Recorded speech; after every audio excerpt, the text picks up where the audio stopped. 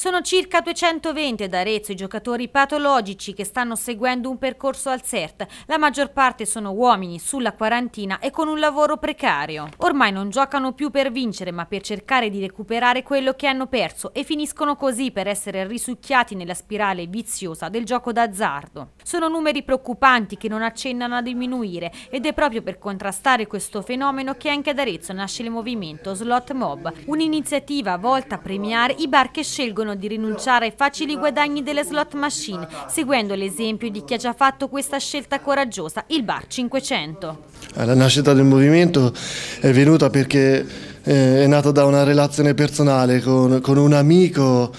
che era stato felice che il bar sotto casa sua avesse tolto le slot machine. Ci siamo domandati come mai era così contento e abbiamo scoperto